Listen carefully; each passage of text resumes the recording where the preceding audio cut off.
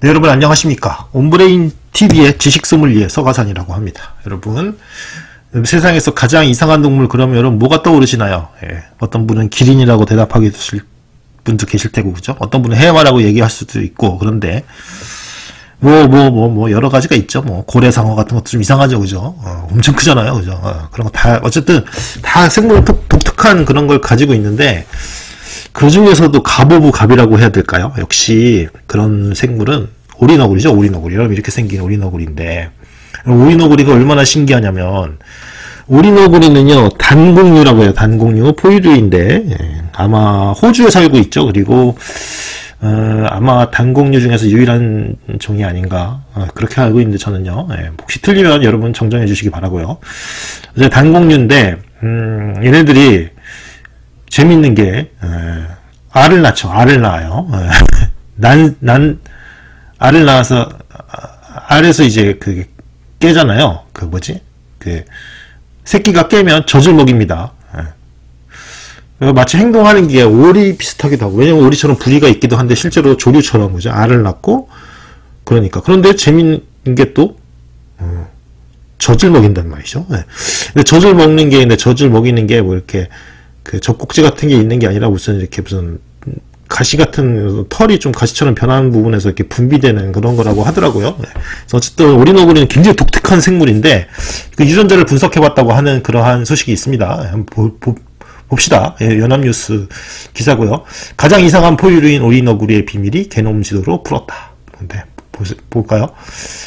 호주의 오리너구리는 알을 낳고 피부에서 스며 나오는 저주로 새끼를 키운다. 그죠? 네, 이빨 없이 오리 주둥이 같은 부리를 가지고 있으며 뒷발의 발톱에는 개도 죽일 수 있는 독을 갖고 있다. 또 성염색체가 10개에 달한다. 야, 인간은 성염색체가 2개인데 그죠? 아, 어쨌든 여러 가지 면에서 봤을 때 진짜 신기한 동물이에요. 이거 아마 다윈이 살아생전에 오리너구리 보면 아마 골치도 많이 앓고 그랬을 겁니다. 여러분 보시면 음, 어, 그 오리너구리는 이 부리는요, 여러분, 그냥, 그냥, 그런, 뭐라 그럴까, 그냥 그, 단순한 부리가 아니라, 여기서 뭐 전기 같은 게 조금 나와가지고, 그죠? 완전히 그거래요. 이걸로 모기도 탐색하고 냄새부터 맡고 그런 기관이라고 합니다. 예. 감각기관이에요, 일종의. 그죠? 음. 근데 비버를 닮았지만 포유류라고 하기에는 특이한 점이 한두 가지가 아니다. 어, 진짜 그렇습니다. 그래서 지구에서 가장 이상한 포유류다. 그래서 과학자들을 당황스럽게 해왔다. 처음에 이거 발견됐을 때 어디에다가 그죠? 뭐 포유류에다 넣어야 되나, 뭐, 뭐에다 넣어야, 조류에 넣어야 되나, 뭐 이런 식으로 고민 많이 했겠죠, 그죠?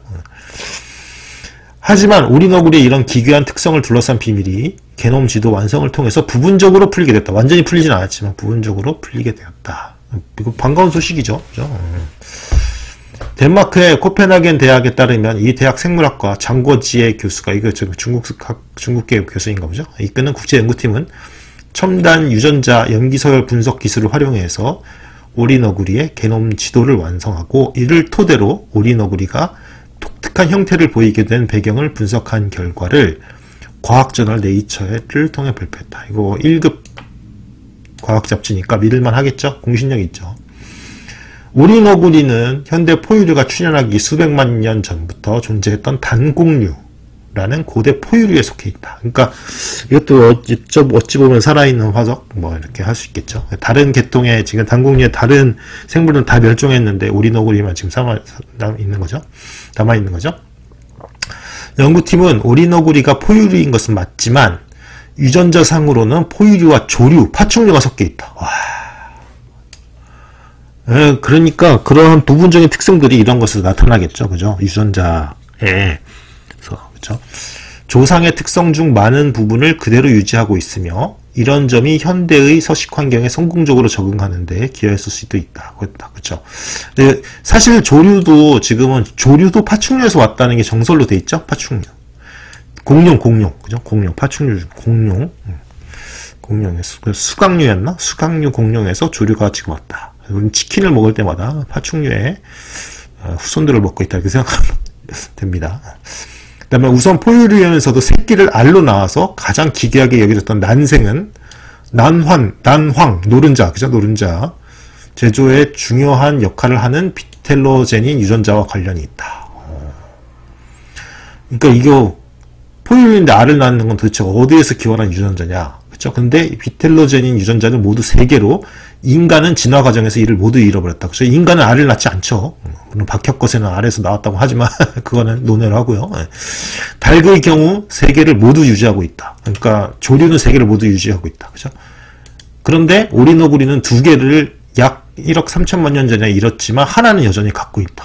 그러니까 완전히 포유로 이렇게 넘어가기 전의 단계네. 그죠? 여러분. 그러니까 태반에서 키우는 포유류가 아니라, 그죠? 어, 알을 낳는. 야, 그러니까 중간적 성격을 가지고 있는 거죠, 아직도. 그죠? 과도기적 성격이라고 해야 되나?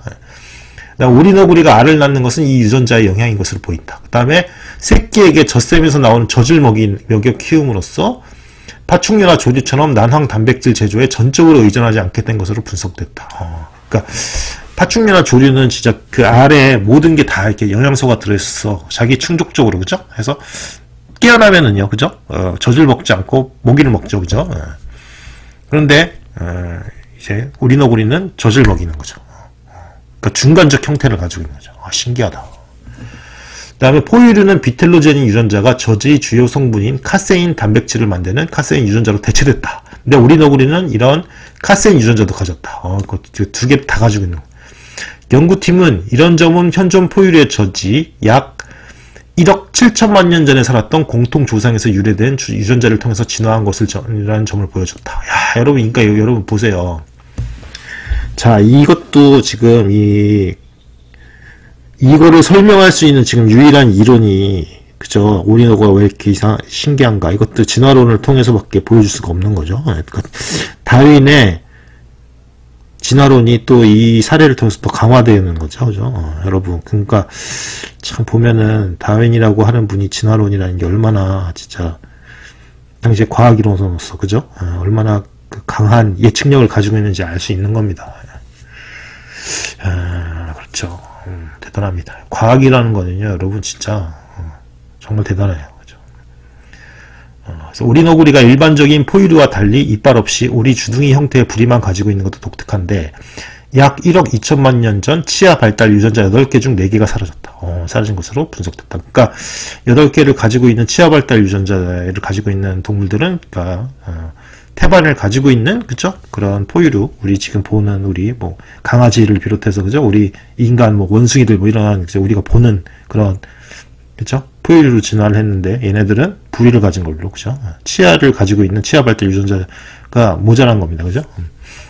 이와 함께 인간을 비롯해서 모든 포유류의 성 염색체가 XY 등 두 개인 것과 달리 XY 각각 다섯 개씩 모두 10개에 달한다. 허, 진짜 특이하네 이거죠. 그래서 초기 조상에서는 원형 형태였다가 나중에 잘게 쪼개진 것으로 추정됐다. 어. 예를 들어서 뭐 지금 일반적인 포유류는 한 번 쪼개졌는데 그쵸? 어, 뭐 다른 이 지금 오리너구리는 한 다섯 번 쪼개졌다 이렇게 생각을 하면 그쵸? XY가 각각 10개씩 있는 걸로 설명이 되죠 그쵸? 또 오리너구리의 성염색체는 인간보다는 달객에서 더 공통점이 많았다. 이는 포유류와 조류 간 진화적 관계를 보여준다. 어, 그럼 진짜. 야, 신기하네. 그래서 1799년 오리너구리에 대한 첫 묘사라고 하는데 와 이거 좀 약간 좀 귀엽다. 근데 귀엽다기보다 뭐라고 해야 되나?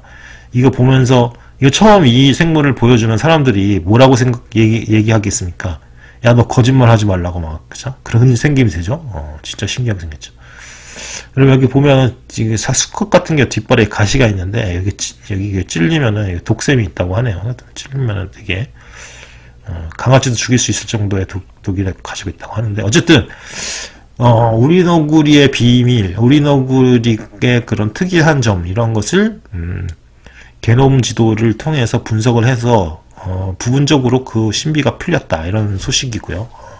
연합뉴스의 그런 음, 기사였습니다. 그리고 어, 이 지금 비밀 게놈 이, 이 게놈 지도로 풀어낸 결과 어, 다윈의 진화론을 더욱 그죠 예, 뒷받침해주는 하나의 증거로서 그죠 1억 2천만 년 전, 1억 7천만 년 전에 살았던 공통 조상으로부터 갈라져 나와서 그죠 서로 각각 그 환경에 맞게 진화를 한 거겠죠 그죠 예. 그렇다는 것을 알게 되었습니다. 어, 참 신기합니다. 그죠? 이렇게 보면. 예. 자, 오늘 예, 오리너구리에 대한 음, 정보를 하나 전해드렸고요. 여러분 내일도 더 재미있는 정보를 찾아뵐 테니까요. 구독과 좋아요 해주시면 저에게는 큰 어, 도움이 될 것 같습니다. 여러분 항상 시청해주셔서 감사하고요. 예, 안녕히 계십시오 여러분.